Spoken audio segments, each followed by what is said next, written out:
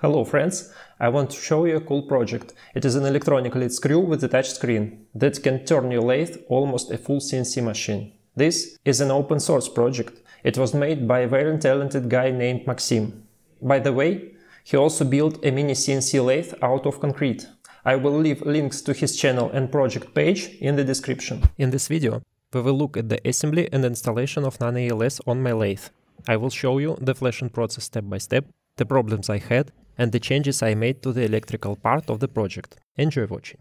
The parts list shown here, but it does not include things like motors, pulleys and belts. I will tell you which parts I used and I will put the list in the description.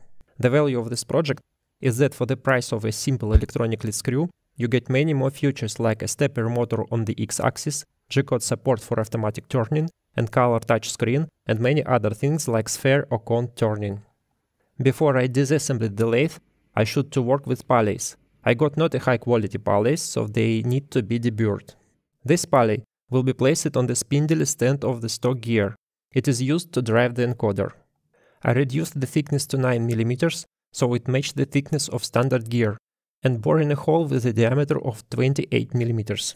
I made the feet on the spindle 28 mm plus 2 hundredths. I also need to make a keyway in this pulley. I decided to use my milling tool for this. This is the pulley I got. Looks good I think. I centered the pulley in the lathe chuck by the tops of the teeth. This pulley will be installed on stepper motor that drive the carriage. I need to bore an 8mm hole in it to fit the motor shaft. Other pulley will be installed on the lead screw. I already bored it to 12mm and now I need to make a keyway.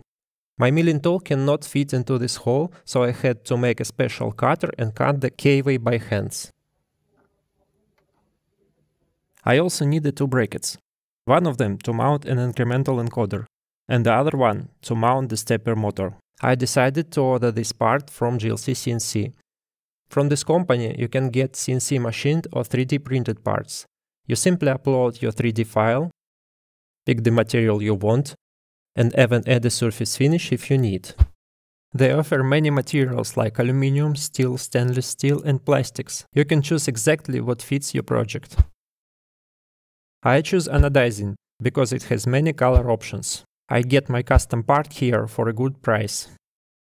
JLC CNC can build parts in as fast as 3 days, with delivery to your hands in around 5 to 7 days.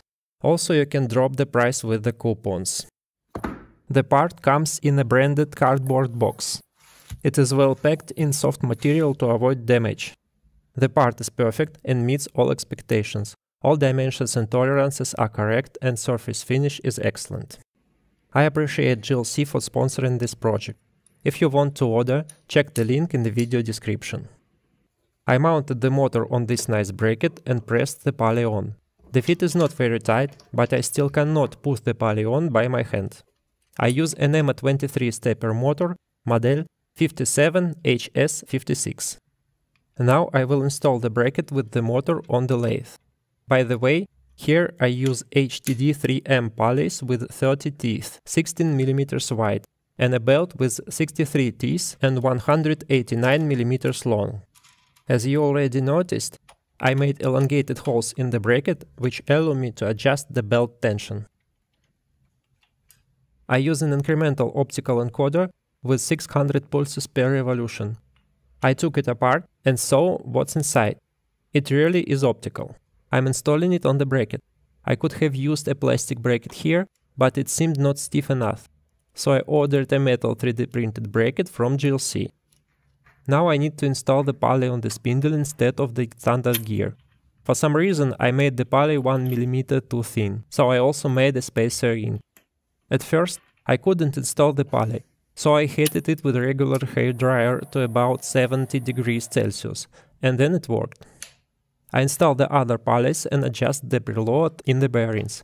In my lathe, there is a set screw to fix the spindle nut. Now I need to install the encoder. I put the pulley on it, put on the belt, and mark the spots for the holes. The encoder pulleys and belt are GT2 standard, 6mm wide. On the spindle, there is a 60 tooth pulley. On the encoder, there is a 30 tooth pulley. drilling the holes and taping the threads. I will use M5 screws here. Next, I install the encoder in its place and adjust the belt tension. The loads here are small. What's much more important is that the encoder follows the spindle rotation exactly. If the belt is too loose, the encoder could give wrong readings, and I don't want that. I also need to modify the decorative panel, because now the motor gets in the way. For Power Nano ELS, I will use the same 16 volt power supply that I use for my milling attachment. The link to the video about making it is in the description. I want to be able to remove the headstock, so I will install an XT30 connector here. I will put a cable tie to make sure the connector does not come apart. I really like using this spiral wrap sleeve everywhere. It helps to keep wires tidy. Here you can see why I made my own motor bracket. I have a rather small headstock and the standard motor bracket would not allow me to install the decorative panel in its normal place. I installed the front panel. I don't need to do anything else inside. I will use a TB6600 driver. I realized that it was a mistake, but more about that later. I won't go into detail about setting the current microsteps or where to connect the wires. There is a lot of information about that, and you can find it in many other places. I installed the driver on the left side of headstock using double-sided tape. I'll skip the boring part of soldering the wires, nothing interesting, just connecting everything according to the schematic. It is time to assemble the controller. Since the controller uses a rather expensive display and I am using cheap DC-DC converters to power, I decided to add overvoltage protection. But before installing it, I will test it. The overvoltage protection is a small electronic circuit that quickly cuts off the power if it goes above 5.5 volts. I build a circuit where 5 volts go through the protection board. This is the protection board. This is the DC-DC converter that supplies 5 volts to the protection board. I will suddenly apply 15 volts to the input of the protection board and watch on the oscilloscope how fast the board shuts off the power. I touch the 5 volt line with the high voltage wire. The oscilloscope records the data. Let's take a look. The yellow line is the voltage before the protection board. The green line is the voltage after the protection board. I won't go into deep details. From this data, we can see that the protection board works as expected. The response time was 50 nanoseconds, and the voltage did not go above 5.5 volts.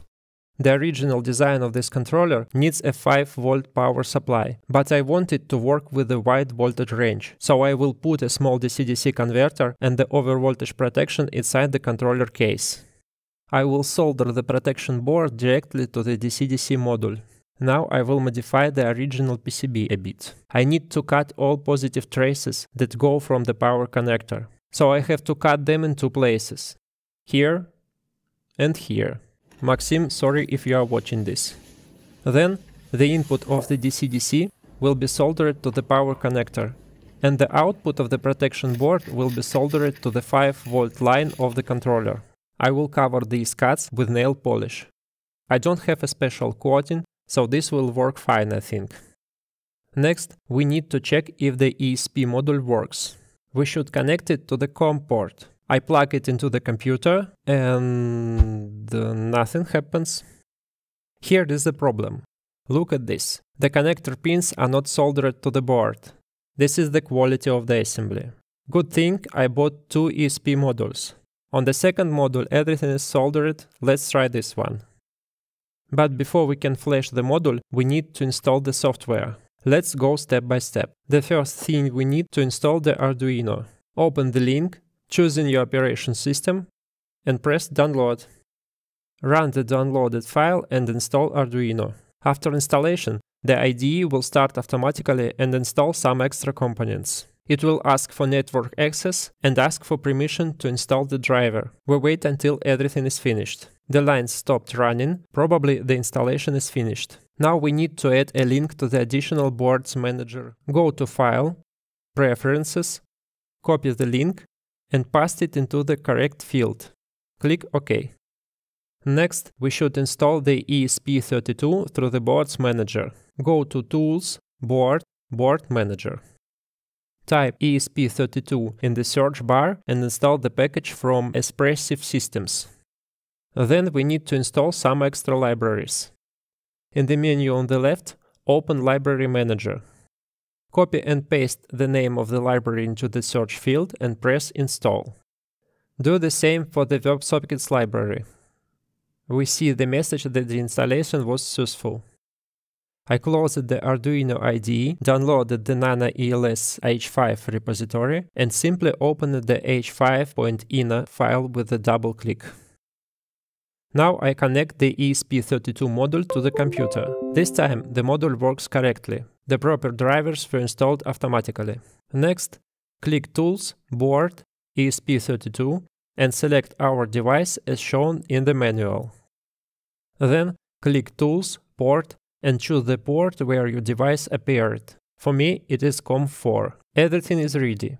We can see that correct device on the correct port is detected and ready for flashing. In the top left corner, press the upload button with the arrow icon and the compilation and flashing process will begin. The first upload takes quite a long time. For me it was about 5 minutes. We can see the messages saying that verification process finished successfully. The firmware is uploaded. Next, we simply disconnect the USB cable. Now we know that the ESP module works correctly at first glance, and we can continue assembling the controller. The module is installed on the board like this. You need to check that all three ground pads in the corners match the marks on the board. This makes sure the module is in the correct position. I insert the module into its place and solder all the pins. To be honest, I'm not sure if every pin really needs to be soldered, but I didn't want to spend time checking which ones are unused, so I just soldered all of them. The bus transceiver chips are installed on the opposite side of the board from the ESP module. The correct orientation is marked on the PCB and also by the key on each chip. I solder them as well. As you can see, the DC-DC module with the overvoltage protection and the programming cable are already installed inside the case. I place the connectors into the case, put the PCB on top of them, fix it with screws, and solder the connectors. I clean off the flux, connect the programming cable, and finally install the board into the case. I solder the input of the DC-DC converter to the power connector. I solder the output of the overvoltage protection to the controller's 5V power line. Next, I remove the back cover of the display. Be careful here. You also need to disconnect the speaker wire. I connect the display to the controller using the cable that comes with the display. It is important to connect the wires correctly. Obviously, 5 volts and ground must go to the matching pins. But RX and TX must be connected in reverse. TX always go to RX and RX goes to TX. Then I close the case with the display and fasten it using the same screws from the back cover. Now I need to flash the display. I format a microSD card to FAT32. The card must be 32GB or smaller. I copy the file h5.tft from the Nano ELS package into the card. I insert the SD card into the display slot and apply power to the power port. After one second, we see a message on the screen saying that firmware was updated.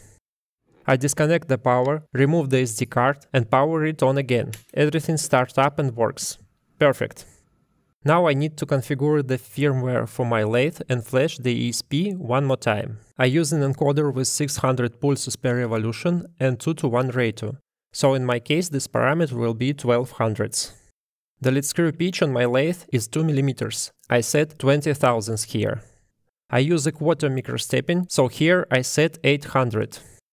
I measure the backlash of the lead screw and it is about 0.11 mm.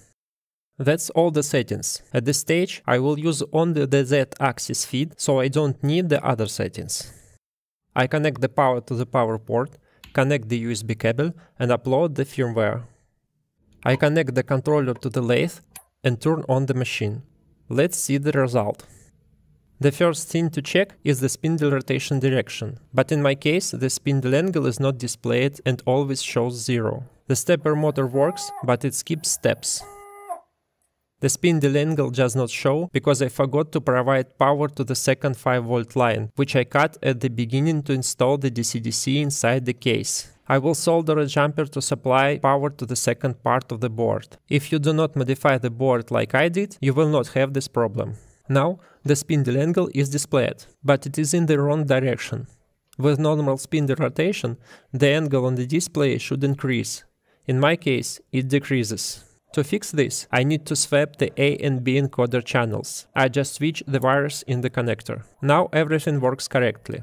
I played with the modes and found one bad problem. If I make several passes, the carriage does not reach the final point each time. I reached out to the Maxim about this issue. He tried to repeat the problem on his setup, but he could not see it. Then I looked for the problem on my machine and I think I found it. For some reason, my driver misses one or more steps at the start of the movement. I don't know why this happens. However, if I set microstepping to 6400 pulses per revolution of the stepper motor, this problem almost disappears. In this case, the movement error is less than 1 micrometer per pass. Conclusion. Don't save on the stepper driver and don't power the system with only 16 volts. That's clearly not enough. Anyway, I like how the system works. I played with the settings and set a more precise backlash value. There are my settings. I really like how the system works. Even without the cross-slide drive, my work on the lathe has become much easier and faster. I can use automatic stop, cut threads with any pitch, including multi-start threads, and set any tool feed from 1 micron to 25 mm per revolution. And all of this is done with the press of three buttons, instead of moving and adjusting gears manually.